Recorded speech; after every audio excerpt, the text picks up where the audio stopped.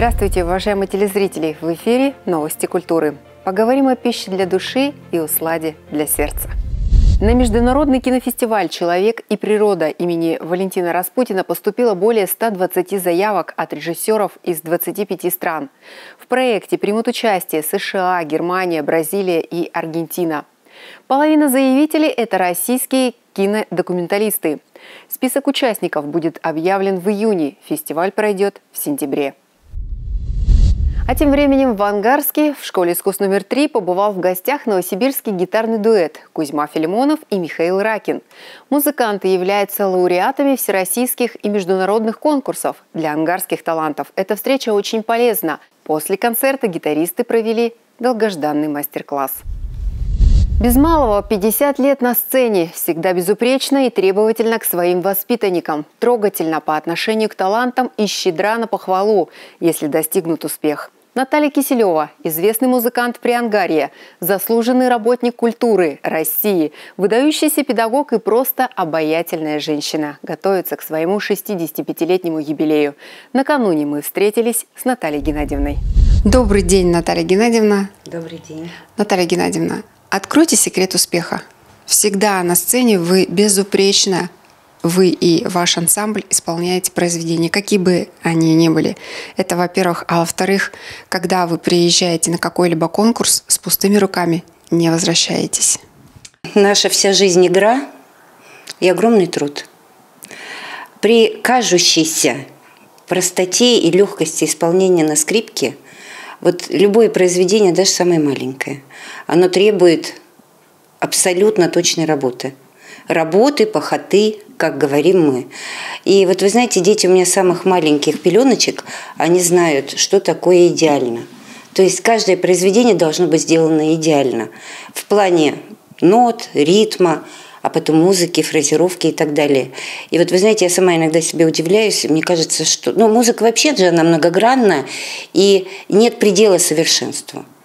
Каждое, даже самое маленькое произведение у музыкантов, у настоящих музыкантов, требует очень тщательной, очень кропотливой, шлифовочной и эмоциональной работы.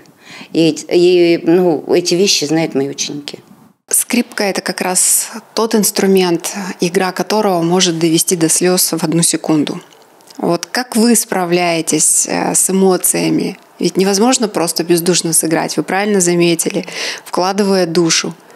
А если эмоции просто уже переполняют, как вы справляетесь? Вы знаете, мне недавно как-то спросили, вот вы на сцене плачете? Вы знаете, нет. Вот я хочу сказать так – когда ты играешь с полной отдачей, ты попадаешь в тонкие миры.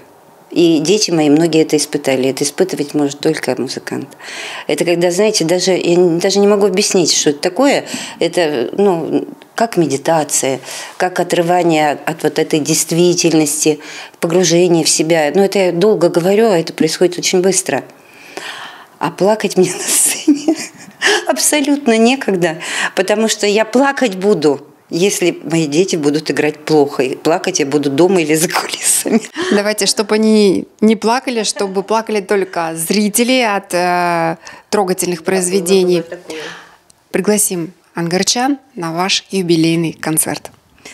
Дорогие мои поклонники, поклонники ансамбля скрипачей вдохновения, мои ученики любимые – кто недавно закончил у меня школу, и кто давно-давно закончил у меня школу и уже отучил много, может быть, своих детей даже. Э, мои любимые родители. Родители – это родители моих выпускников, моих учеников. В день своего юбилея, это первый раз я так делаю, в день, э, в день рождения я провожу концерт, потому что я хочу быть с вами. 15.00, э, 8 мая Дворец культуры «Нефтехимик». Я вас всех жду. Я буду рада всех-всех увидеть. Приходите, не пожалеете.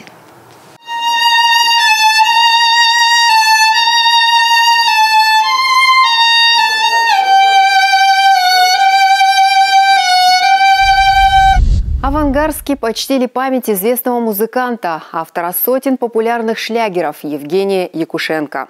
Концерт посвящения прошел в ДК «Современник» при полном аншлаге.